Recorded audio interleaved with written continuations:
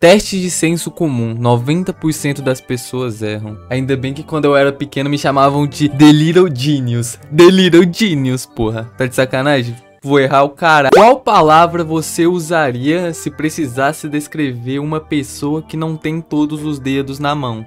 Cotoco. Você tem 10 segundos para dizer o adjetivo certo. Cotoco. Você deve chamar essa pessoa de normal. É meu cu no teu bil... Não sei você, mas eu tenho todos os meus 10 dedos divididos entre duas mãos, com 5 em cada uma delas. É, mas você não falou 10, falou todos. Eu tenho todos os dedos de uma mão. E todos Uau. os outros dedos da outra mão. Eu em NA, pô.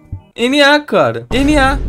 Agora vamos a um pouco de geografia. Yes, yes, mas os Estados Se um Unidos, avião cair bem na fronteira entre o Canadá e os Estados Unidos, onde os sobreviventes devem ser enterrados. É, lugar nenhum, né? Porque sobrevivente não vai ser enterrado, pô. Não sei se você querer matar mais gente, pô. Porque sobrevivente não enterra, cara. Tá de sacanagem? Já decidiu? Não, mas essa é muito Canadá? fácil, pô. Estados Unidos? Não, Bocó. Mas você tem mesmo 100% de certeza que eles deveriam enterrar os sobreviventes? Ok, dê uma olhada nesta aqui. Aham. Imagine que você acabou de entrar em um cômodo escuro como um breu. Ok. Tem uma lamparina, um jornal e alguns gravetos dentro do cômodo.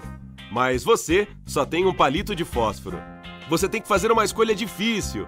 O que vai acender primeiro? Tá, calma, eu tô num quarto escuro. Eu tenho uma lamparina, um jornal e um graveto. Qual eu vou acender primeiro? Uai. Lâmpada? Você só tem um palito de fósforo. Você tem que fazer uma escolha difícil. Qual o que vai acender primeiro? Não, se eu fosse não, Hã? eu vou ter que acender primeiro o palito de fósforo, certo? E depois eu, eu acendo o resto, por algum motivo, né? Eu acendo só a lamparina, que aí fica claro, não? Eu tô maluco, pô. Eu não tô maluco. Sei lá como é que funciona uma lamparina também, pô. Estamos em 2023. Ano da tecnologia. Conhece Elon Musk?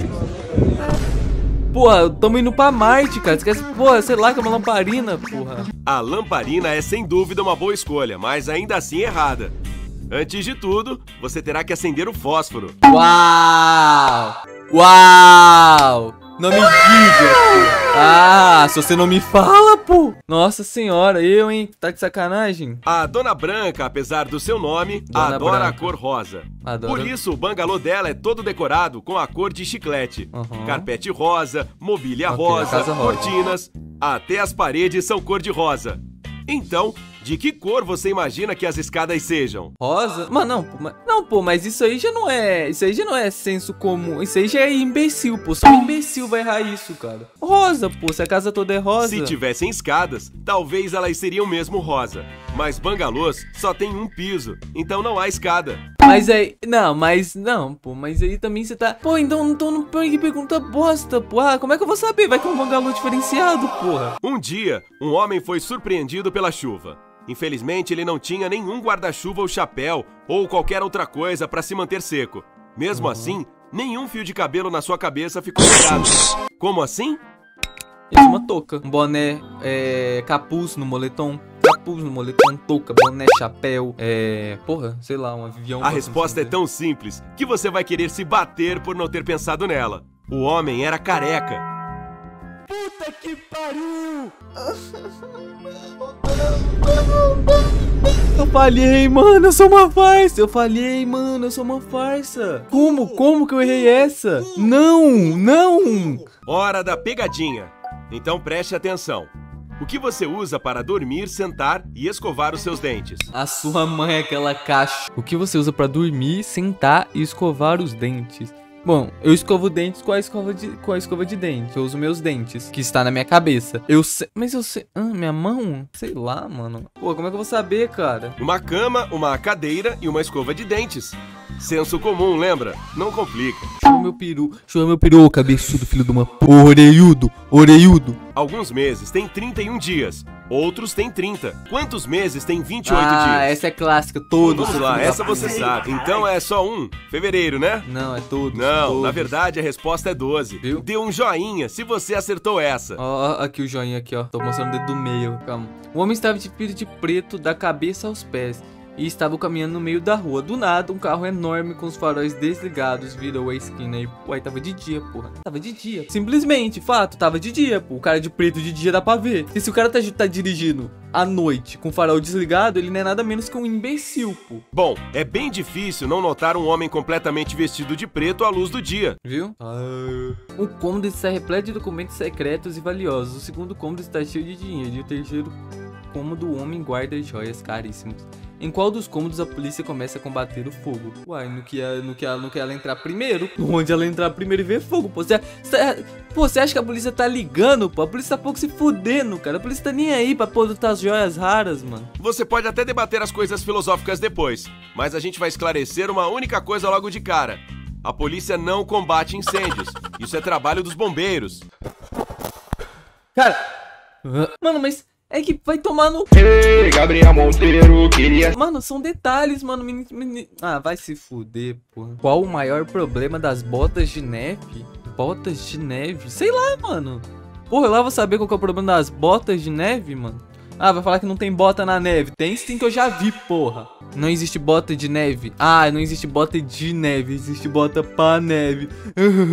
Ai, nossa, quem fez esse vídeo aqui... Nossa, deve enfiar dois dedos bem dentro do cu dele. As botas de neve derretem assim que você leva elas pra casa ou assim que a primavera chega. É, e sua mãe dá a bunda o dia inteiro e não tem ninguém falando nada, pô. Ah, porque estas ah, são feitas de neve, né? Ah, Entendi. meu como se coloca uma girafa dentro de uma geladeira? Abre a porta, bota a girafa, mano. E fecha a geladeira. Abre a porta, bota a girafa, fecha a porta. Pronto, botou. Mas essa girafa tá pequena, hein, mano? Que porra é essa? Do tamanho da geladeira quase girafa, mano. NA girafa. Então, aqui está exatamente como você deve proceder. Abra a geladeira e coloque a girafa dentro dela. Depois, é melhor fechar a porta para que o frio não saia. Esta pergunta em particular mostra o quanto você tende a complicar as coisas além da conta. É sim, mas não caberia, né? É aí que tá. Agora, como você coloca um elefante dentro da geladeira? Ah, essa eu tô ligado. Você abre a porra da porta, você tira a girafa, você bota a porra do elefante, aí tu fecha a porta, mano. Abra a geladeira, tire a pobre girafa congelada de lá, coloque o elefante dentro e depois feche a porta. Viu? Se lembrou da girafa? Você é bom em pensar sobre as consequências dos seus atos. Viu? Noé constrói mais uma arca e convida todos os animais do mundo para entrar nela. Sua mãe não ia caber lá não, filho. Todos os animais entram, menos um. Qual animal não entra na arca? O elefante, claro. Ele ainda está lá na geladeira. Nossa, mas aí... Ah, ha, ha, ha. Olha, eu sou muito esperto. O elefante está na geladeira, mas não existe só um elefante não, seu filho de uma puta. Está caminhando pela floresta quando se depara com um rio. Você precisa atravessá-lo, mas sabe que tem crocodilos nele. Como você vai conseguir chegar ao outro lado do rio sem virar comida de crocodilo? Como você vai conseguir chegar do outro lado do rio sem virar comida de crocodilo? Eu tenho que atravessar o rio. Calma, tem jacaré nele? Mano, nem prestei atenção no que esse filho de uma puta falou, mano. Tem jacaré no rio? Se tem jacaré no rio, eu dou a volta, pô. Não deve ter como dar a volta. Como você vai conseguir chegar do outro lado do rio sem virar comida de jacaré? Sei lá, mano, honestamente, uma preguiça. Não se preocupe, pode atravessar o rio nadando. Não tem perigo.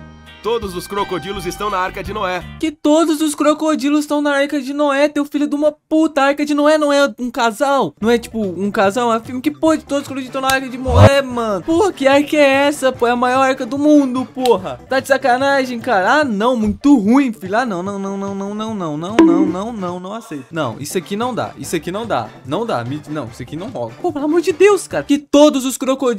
Supa, meu. Não quero dinheiro e nem fama, nem quero paga de bacana. Careca também ama, homem careca também ama.